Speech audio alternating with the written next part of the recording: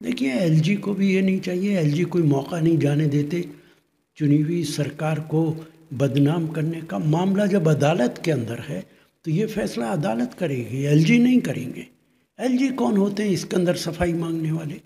इसके अंदर अदालत अगर केजरीवाल को बुलाना चाहेगी तो केजरीवाल को बुलाएगी, उनका स्टेटमेंट लेगी और सच्चाई देश के सामने आ जाएगी।